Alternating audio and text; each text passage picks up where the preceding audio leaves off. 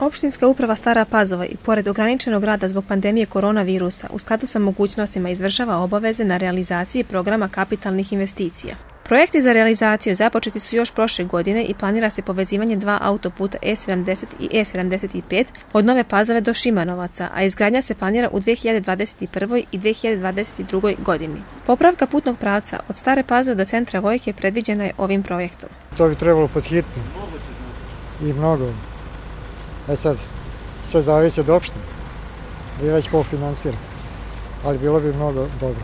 Taj put je zaista neophodan, jer mi živimo ovde u glavnoj ulici, jako je velika frekvencija saobraćaja, pa i kamioni isto jako puno smetaju.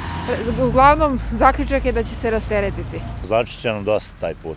Znači, nećemo imati mnogo šlepera, nećemo imati, znači, saobraćaj će biti bolji, nećemo imati ti rupa udarni, Znači što kažu ne može ni da stigne da se sve to popravi koliki je veliki saobraćaj. Novi asfaltni put između Vojke i Stare Pazove značajno će doprineti boljim uslovima života, a od posebnog je značaja jer je to put koji vodi prema autoputu Beograd-Zagreb. Kroz javno prijatno partnerstvo ćemo raditi te pravce, što sam rekao, Stari Banci i Krnješevci, od putnika do centra Vojke i još nešto u Podunavlju, tamo između Belegiša, Stari Banovaca. Mi ćemo to završiti u nekoliko meseci ili godinu dana i naravno onda ćemo to finansirati narednih 5-6 godina, a da za 5-6 godina pitanje da li bi sa tim sredstvima uopšte mi uspeli toliko da obezbedimo sredstava i toliko da uradimo.